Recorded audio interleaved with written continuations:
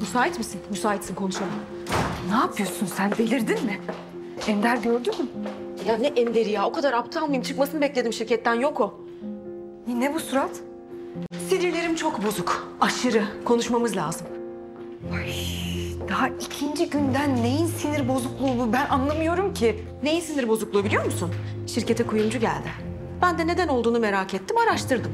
Zehra'nın ağzını ararım diye onu çağırdım kahveye. Geldi buluştuk. Çok hızlısın bakıyorum. Ee, neymiş? Yıldız Hanım'ın doğum günü varmış, yaklaşıyormuş. Halit de ona hediye bakıyor. Yetmiyormuş gibi bir de yalıda koskocaman parti organize ediyorlar. Organize etsinler sana ne bundan Leyla? Ne demek sana ne ya? Halit benimle beraberken karısına parti mi verecek? Verecek. Leyla'cığım konuştuk biz bunları. Sen yoksa bu adama aşık falan mı oldun? Ne alakası var? Ne aşkı? Öyle bir şey yok. Ben onunla bir amaç için beraber olduğumu farkındayım, biliyorum. Ama ben sadece bunu gururuma yediremem. Yani ben böyle bir şeyi kabul edersem onlar asla boşanmazlar yani biliyorum. Leyla'cığım bak gerçekten çok aceleci davranıyorsun.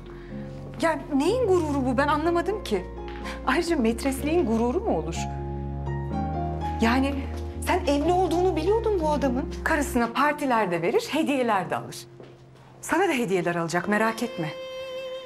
Bu adamlar böyledir. Her iki tarafı da çok güzel idare ederler. Ama ben idare edilen taraf olmak istemiyorum. Ama olmaya mecbursun. Çünkü Yıldız onun karısı ve çocuğunun annesi. Halit boşanana kadar sen ikinci planda kalacaksın. Ben bu muameleyi kabul edemem. Sen kendini bulunmaz Hint kumaşı falan mı sanıyorsun?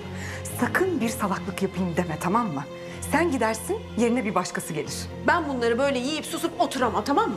Sen demiyor muydun hep Yıldız'dan bir farkın olsun diye? Benim Yıldız'dan farkım bu olacak. Şimdi gidip Halit'le konuşacağım. Sen ne diyeceksin peki? Neden karına hediyeler alıyorsun mu diyeceksin? Neden partiler veriyorsun mu diyeceksin? Bak adamın zaten çevresindeki kadınlardan sıtkı sıyrılmış durumda. Sen o kadınlardan birisi olma rica ederim. Ben böyle bir şey söyler miyim?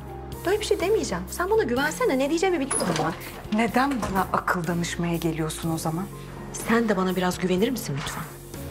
Ben kimseye güvenmem Leyla. Eğer Halit'i kaybedersen külahları değişiriz. Asla öyle bir şey olmayacak. Bana güven. Halit bana şimdi olduğundan daha da beter aşık olacak. Ve o partide asla olmayacak.